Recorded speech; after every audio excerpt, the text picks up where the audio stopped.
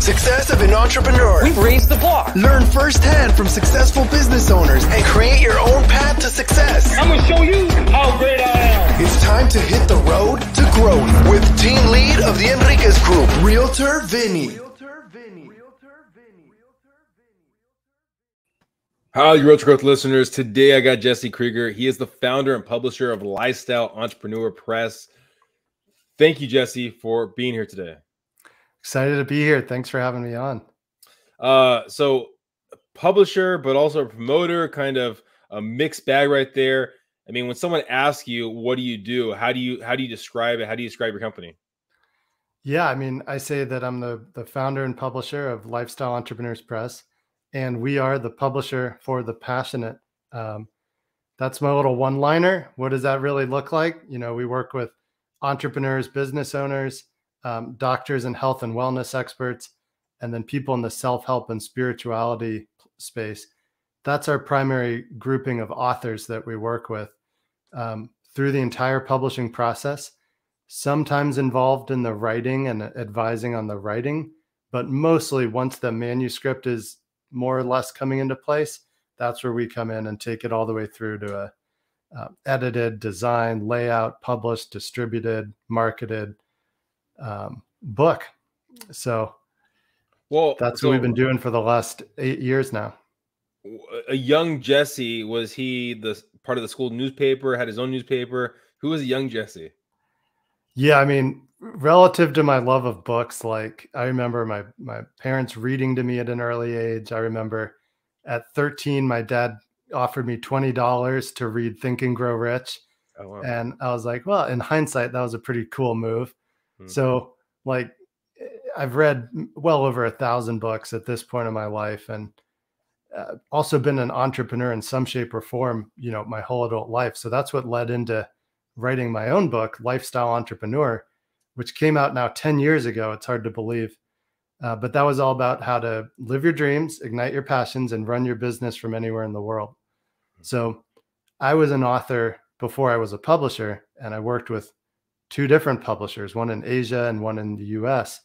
So I went through this whole process as an author, and that definitely led into other aspiring authors asking, like, hey, can you help with my book or can you help with this and that? eventually they'd say, Can you just do it for me?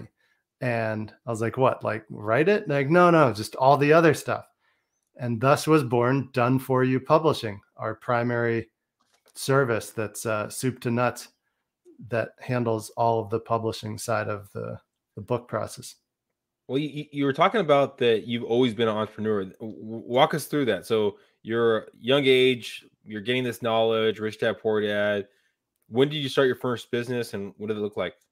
Sure. Yeah. Um, so at 21, I founded my first, co founded my first business. Then I was all into music, played guitar, was living in Nashville, and, and my bandmate and I um, created our own record label in order to, to have our own music career. So it's like I started in a creative space with music, um, being in a band, playing lead guitar and got to the point where like okay if we start our own label even if even if we're the only band that's on our label then we actually have some input in the process compared to trying to sign a record deal which as as you looked more into it or as i looked more into it um, it's giving away a lot of creative control um, you know it's speculative if you're going to get paid or how much you'll be supported and and and back in those days in 2003, I believe, when we signed it, record deals were pretty restrictive. Like you could be locked up for multiple albums and all these contingencies. So even back then, I was interested enough to like to learn the business side in order to do the creative fun side, the music side. And that first experience was highly instructive, worked my butt off 12, 14 hour days, right? Not just writing and rehearsing and recording and performing music, but now hiring and managing a team. I was 21 years old. We had people 10 years older than me working for me. It was a lot of like growing up quick to make it all work. But we released our album. Our band was named Harsh Krieger, my bandmate Jake Harsh and me, Jesse Krieger.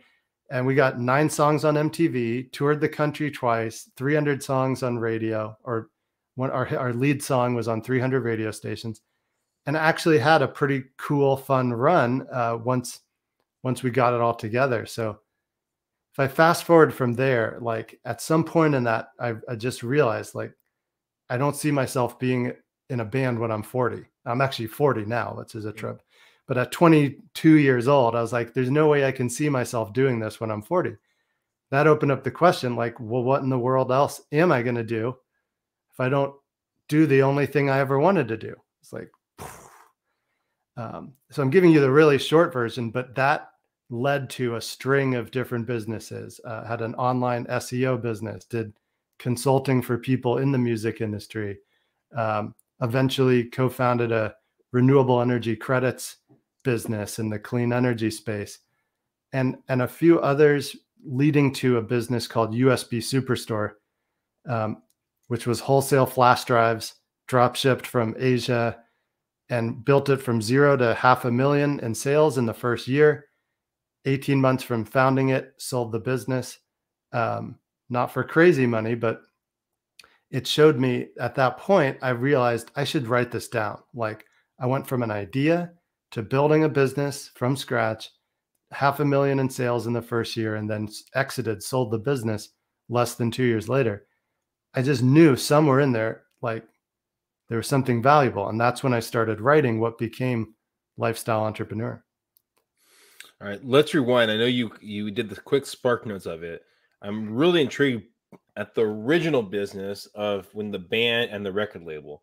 How much in, in when when you were doing doing that touring, everything there, how much of your time was focusing on the band compared to how much time was spent spoken on the record label? Yeah, uh, the the honest answer is I viewed it as one big continuum. Like okay. from the moment I woke up um, I'd either be interfacing with our band manager, booking agent, radio and PR promo, you know, any admin stuff that we needed to do.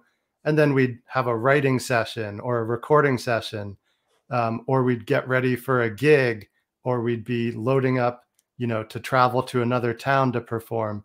So in 2003, four, and five, when this was all going on, I had a Blackberry. This is before the iPhone. And I just thought it was the coolest thing to like have the the early stage technology to manage it from a BlackBerry in the, in a van while we're touring around and doing all of our band stuff. So it was 12 hour days for sure. Like most days, it was just a pretty full load.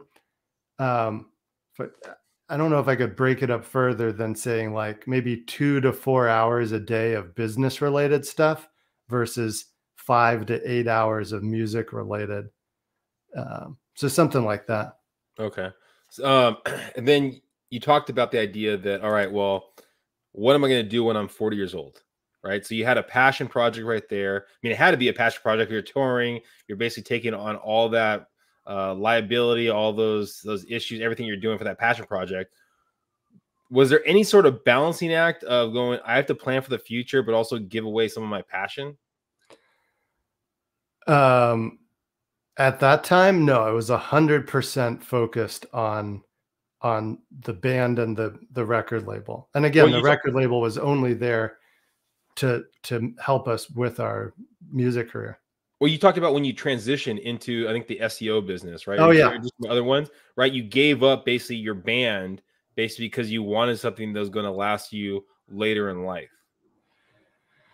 I'd say the the accurate way to say that was when we when it became clear that we were going to wind down the band.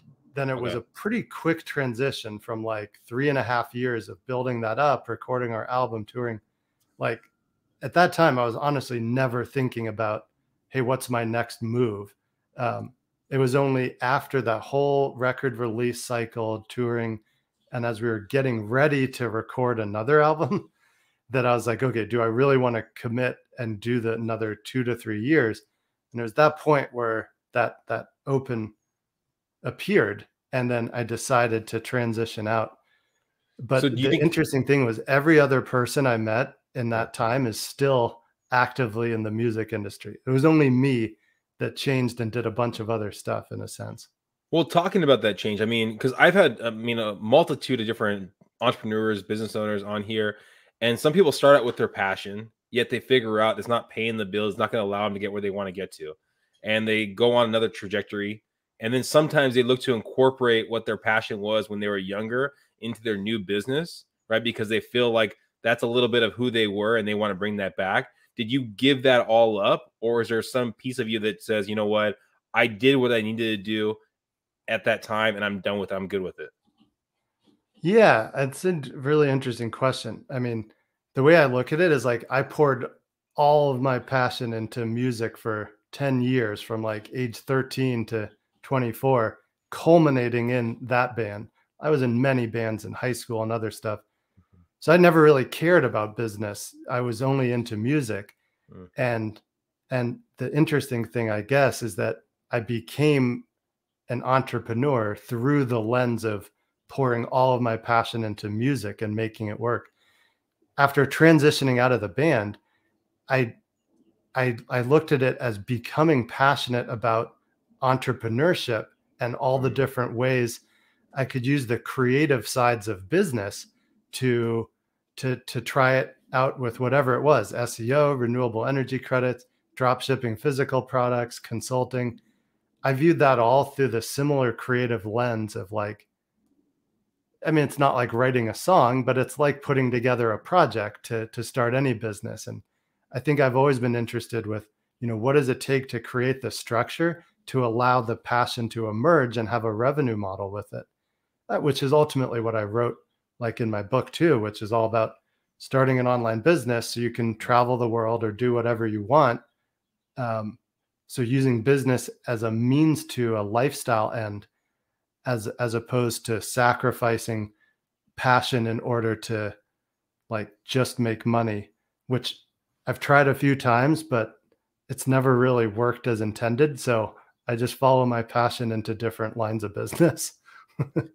When when you were transitioning out out of the music industry into all these other careers and other businesses were you able to accumulate funds that you had some sort of savings that allowed you a comf- comfortability to try other ventures, or was it more of I need to make money to survive for my next stage in life?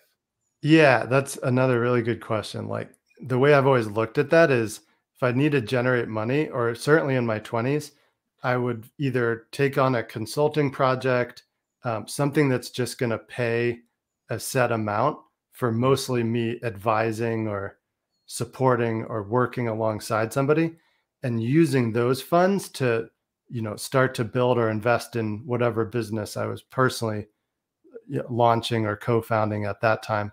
So I've, I've always seen a balance of like there's a hustle there's a way to also use you know some creative talent and passion to generate funds. I've done that in consulting done that in fundraising or raising money for ventures and getting a percent of funds raised, but then I would feed some or or most of that into whatever business I was building that was, you know, where I was leading the charge or co-founding.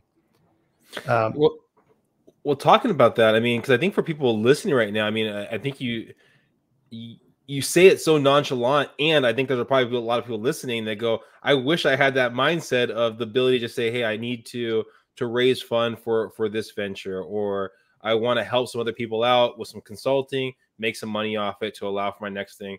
I mean, where did that idea come from? Was it just over time? Did you hear from a mentor? Was it reading a book, or how did how did those things come come about? A, a combination of all the above. Like, you know, in the band, I I proactively recruited mentors and advisors, and mm-hmm. so I had a brain trust of people that liked what we were doing and that I wanted to be able to tap their expertise and form like a strategic alliance sort of thing. So moving out of music, um, I had a lot of expertise in music. So the first thing was I took on a few consulting projects for like a band, uh, another couple music related companies, and then transitioned to consulting in more general or uh, senses than just in music industry. So looked at that way, I bridged from being in a band and running a label to advising people in the music industry as a consultant to then co-founding businesses and gaining more expertise while consulting on things like business development and eventually I, I noticed that almost all companies at some point need to raise capital. And so I started learning about finance and, and, and meeting with investors and turned out I was pretty good at putting together deals. So I saw an, an opportunity where uh, I had some consulting clients and I had some investors. And I took this to an investment bank and I said, look, give me a title, Vice President of Business mm-hmm. Development, and I'll run these deals through your firm. And, and that was, that was a real thing. That was a real story. It happened at 26 years old, no college degree. I became vice president of an investment bank. And now I could go out and talk to the next investor and say, Hey, I'm the vice president of Westcap Securities, and we'd like to fund your business with our investors. They say, Oh, it sounds great. So I'd sign that deal. Then I'd say, Hey, investors, we've got this business that we're going to raise money for and help take public. Do you want to put funds in? Say, Yeah, that sounds great. And then I'm getting a piece of those funds. So, like, that's just a quick illustration of kind of going from music to consulting to finance and ultimately uh, i've been involved with all types of funding of companies and funding startups fast forward to today I'm, i actively invest in startups and invest in uh, all sorts of stuff when i've got the funds available so i'd say that's a good skill to have for someone that wants to be you know an entrepreneur is to understand how to raise money how understand enough finance on how can you capitalize your ideas to turn them into something that can eventually stand on its own feet and generate revenue and profit. So it's to this day, do you still have like, oh, I met this person over here, and then mm, if I come across someone else like this, I can connect them, or I had a book that was this, or yeah, I mean, yeah. That's I mean, how your mind works. It definitely is. I mean, last night I was out with an investor who invested in my publishing business and we're over dinner we're talking about a few other things we're each looking at or invested in now if i make a recommendation to him i'm not necessarily taking a cut from that but it just shows that i'm actively looking at investment opportunities and sharing what i'm doing and just being in that conversation with other like-minded investors even if they're not an entrepreneur. Yeah those are good informative conversations to have because uh, it really shines a light on like what's important to somebody that invests in startups or does you know angel funding or um, or invests into funds that then get them you know exposure to projects and there's a whole world to discover there but yeah i am actively involved in that like in parallel to to running the publishing business that's great right there. I guess for for anyone, I mean, it's the idea that whoever you meet could be a partner or could be a partner for someone else. Uh, just kind of always be open minded about it. Um, that's how that's really my view. Like Vinny is, I've I've been called such an optimist that I'm always looking at where's the opportunity. Like, mm-hmm. what can we do with the people and resources and ideas we have? If I'm interested, or if I'm if something about it makes me passionate, then and I put my attention there and see if there's you know a deal or a partnership to be formed and uh, and likewise like being on podcasts and stuff i'm always interested in forming longer term relationships with podcast hosts and people that listen to a show like this it's another great way to to get access to deal flow and opportunities and things like that and anyone oh. can do it right oh for sure i mean now I think there's a there's a difference, right, between what you can do as a person compared to, I mean, leveraging other people to work underneath you. What was that transition when you're building a business? I mean, you, yes, we're hiring people to do different tasks when you're a musician, yet now you're a publishing company, and there's probably a lot more people underneath you that you're kind of okay. You need to do this. Is what's the difference between being, I guess, a, a manager and a, a sole entrepreneur? I guess, as individual. I guess.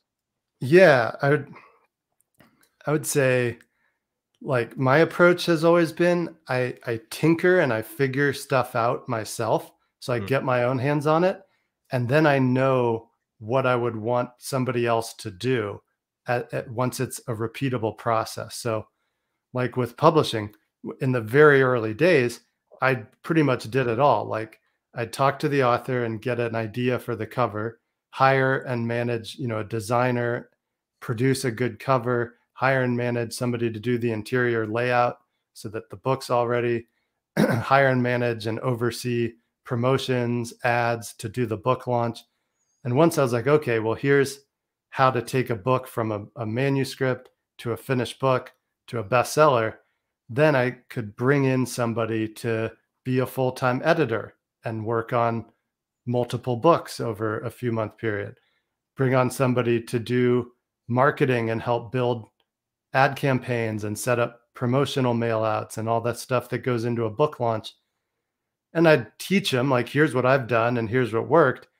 But then I also empower them, like, um, say, like, you know, spend up to $250 tinkering with Facebook ads. And then let's look at the results and refine how we can do better ads and get better conversions. So just using those few examples of like getting the competency myself or at least figuring out what needs to be done. And that's actually one of the secret keys to how to get low cost, like high quality work by giving them a scope. Like you're going to create, you know, X number of Facebook ads targeting these kind of demographics using these type of um, calls to action and this type of copy. And then we're going to track how many books are we selling or how many leads are we driving. So that's different, in my opinion, more effective than just saying, hey, I need someone to manage all my marketing.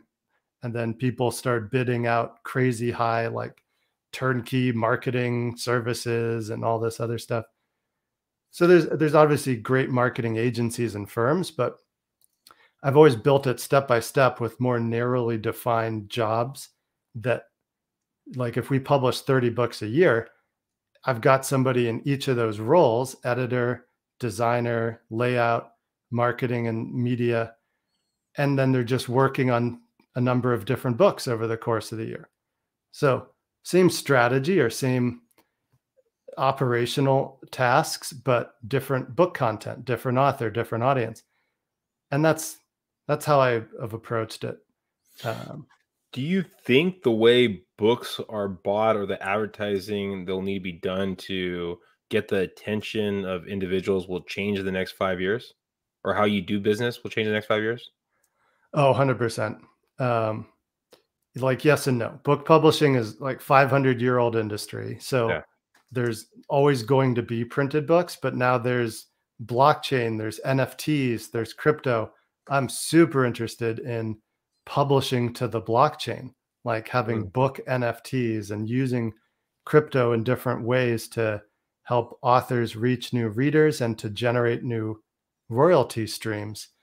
Um, so I think a big part of the book publishing future that I see in the next five years will be more blockchain based. Um, at least it'll be a new format alongside of paperback edition, Kindle edition, audiobook edition, now you could have the NFT edition that unlocks bonus content. Mm-hmm. And uh, I actually co founded a, a, business, powerfan.io, where we're doing just that, um, working with authors and content creators to earn from their content, earning crypto. And uh, maybe topic for, you know, no, no, on the show or something. Right. But, because with the NFTs, they can, uh, with some of the NFTs, when they're sold, you can get a, a recurring fee every time it's sold, resold. So that would be something for the uh, blockchain uh, NFT book, I guess. Would there be a recurring like? Yeah, exactly. So, yeah, any so picture this: you could, as an author, you could sell an NFT of your book that includes bonus content, other training. The buyer could sell that after they've read the book and consume the content. Now the buyer is making some or all of their money back selling the NFT to somebody else and the author's getting a royalty on that transaction instantly, which doesn't exist in the current state of publishing. If we sell a book, somebody buys a book, if they give it away or sell it to a friend or sell it secondhand, the author nor publisher see any data on that. And we certainly don't see any royalties on that secondary market sale. Hmm. And so NFTs allow that, and it's all it's all possible now, and I think it's going to become much more mainstream soon. Uh, Jess, um, if someone's listening right now and they have a, I mean, a story they want to tell, they want to get their who they are, what they've done out there. What's the best way of them getting more information about you and uh, your company? Yeah, I, I invite you to check out lifestyleentrepreneurspress.com. Perhaps we can link that up. Happy to offer a free book to to anybody here, so we can link that up too, and we'll give a link to get any one of our books for free and get get your hands on some of the books we publish. And on the site, if you're an interested author, you can reach out and request a publishing consultation, and we can explore your book idea too. Well, thank you, Jesse, uh, for for being on the Road Growth podcast. I, I appreciate it. Hopefully, everyone listening got some great nuggets right there. I mean, have your passion, and just because it's done one way doesn't mean it has to be done that way for the rest of rest of your life. I mean, take your path, take your journey, and be a connector because everyone you meet could be your next partner, next friend, next connection. Bye, guys. Please subscribe, please share, and go in the show notes to find Jesse. Bye, everyone.